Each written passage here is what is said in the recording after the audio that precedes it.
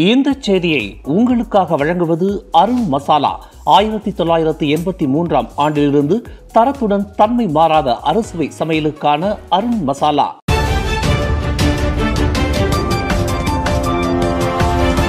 வணக்கம் திசைகளின் ஒரு மணி செய்திகள்.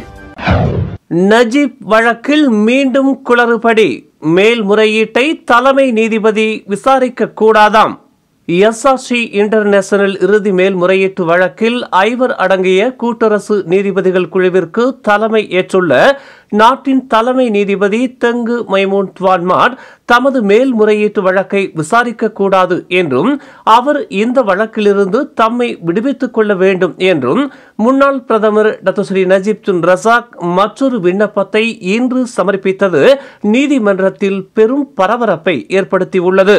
மூன்று நாட்கள் இடைவெளிக்கு பின்னர் நீதிமன்றத்திற்கு வெளியே ஆயிரத்திற்கும் மேற்பட்ட நஜீப்பின் ஆதரவாளர்கள் பத்துக்கும் மேற்பட்ட பேருந்துகள் மூலம் வருகை தந்து கூட்டரசு நீதிமன்றத்திற்கு வெளியே பல்வேறு ஸ்லோகங்களை முழங்கிக் கொண்டு ஆதரவு தெரிவித்துக் கொண்டிருக்கும் நிலையில் பெரும் பரபரப்பான சூழ்நிலையில் இன்று காலை ஒன்பது நாற்பது மணிக்கு வழக்கு தொடங்கியது. இந்நிலையில் நஜீப்பின் முதன்மை வழக்கறிஞரான ஹிஷாம் தே போத்தேக் நேற்று கூட்டரசு நீதிமன்றத்தில் தங்கள் தரப்பில் சமர்ப்பிக்கப்பட்ட புதிய விண்ணப்பம் முதலில் விசாரிக்கப்பட வேண்டும் என்று நீதிமன்றத்தை கேட்டுக்கொண்டார் இந்த வழக்கின் மேல்முறையீட்டை தலைமை நீதிபதி மைமூன் விசாரிக்கக்கூடாது என்று தமது கட்சிக்காரர் நஜீப் அந்த விண்ணப்பத்தில் கேட்டுக்கொண்டுள்ளதாக ஹிஷாம் தே போத்தேக் தெரிவித்தார்.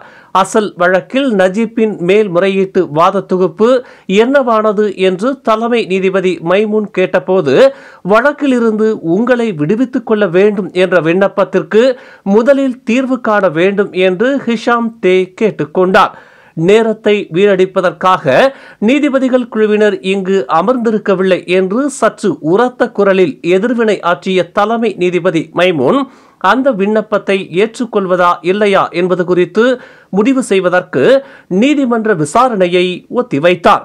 கடந்த ஈராயிரத்து பதினெட்டாம் ஆண்டு பொதுத் தேர்தலில் நஜீப் தலைமையிலான தேசிய முன்னணி அரசாங்கம் ஆட்சியை இழந்ததைத் தொடர்ந்து தமது மகிழ்ச்சியை தெரிவிப்பதற்கு தலைமை நீதிபதி மைமூனின் கணவர் ஜமானி இப்ராஹிம் ஊடகத்தில் ஒரு கட்டுரையை எழுதியதாக கூறப்படுவதை அடிப்படையாக கொண்டு தமது வழக்கை மைமூன் விசாரிக்கக்கூடாது என்று நஜீப் தமது விண்ணப்பத்தில் குறிப்பிட்டுள்ளார்.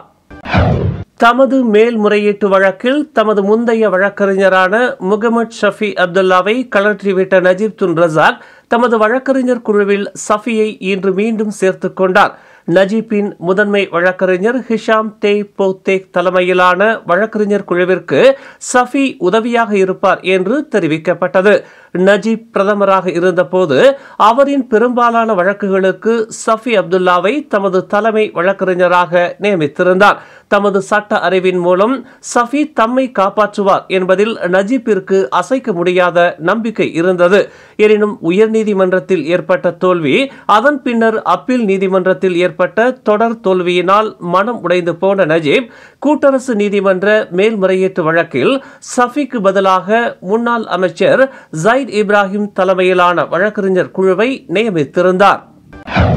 எல்சிஎஸ் போர்க்கப்பல் கொள்முதல் தொடர்பில் Boustead heavy industries corporation Berhad நிறுவனத்தின் கணக்காய்வு மற்றும் தடயவியல் அறிக்கையில் இடம்பெற்றிருப்பவர் பிரதமர் துறையின் சிறப்பு பணிகளுக்கான அமைச்சர் Dato doctor Abdul Latiff Ahmad பெயர்தான் என்பது அம்பலமாகி உள்ளது.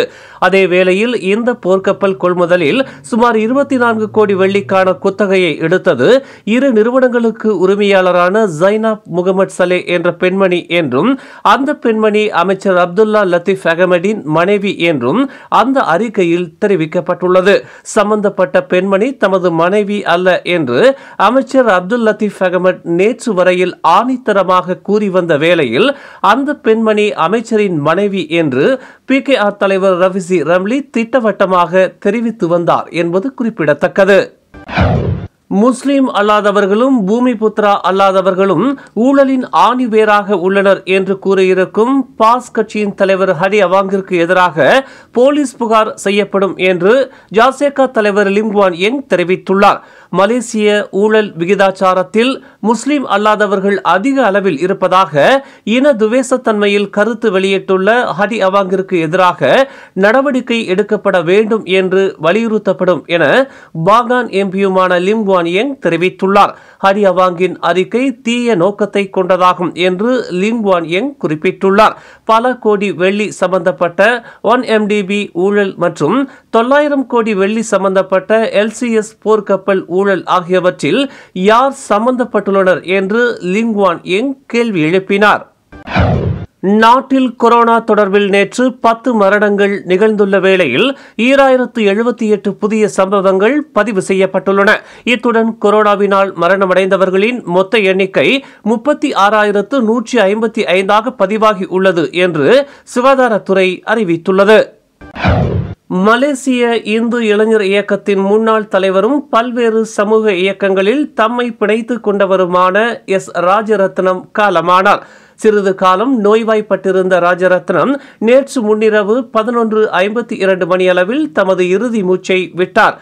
ஆசிரியர் துணை தலைமை ஆசிரியர் மற்றும் Kuala Lumpur Taman Tun Ismail இடைநிலைப் பள்ளியின் இடைக்கால தலைமை ஆசிரியர் என அரசு பணியை ஏற்றிருந்த ராஜரத்னம் மலேசிய இந்து இளைஞர் இயக்கத்தின் செயலாளராகவும் தலைவராகவும் இருந்து ஆக்கப்பூர்வமான சேவையை வழங்கியவர் ஆவார். மலேசிய தமிழ் பள்ளிகள் முன்னாள் மாணவர் சங்கங்களின் சம்மேளனத்தின் தலைவராகவும் இருந்து தமது இறுதி மூச்சு வரை ராஜரத்னம் சேவையாற்றி வந்துள்ளார்.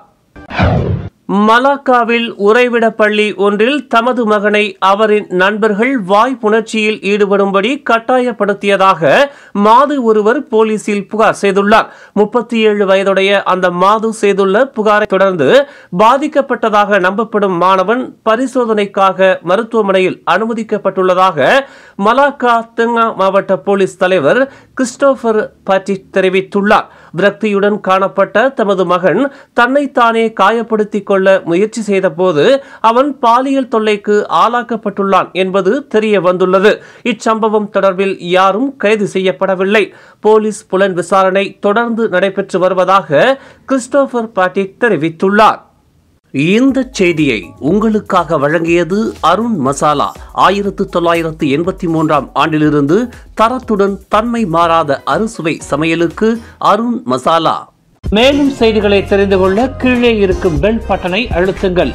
உங்கள் மகிழ்ச்சியை வெளிப்படுத்த லைக் மற்றும் ஷேர் செய்யுங்கள். தொடர்ந்து திசைகளோடு இணைந்திருக்க சப்ஸ்கிரைப் செய்யுங்கள்.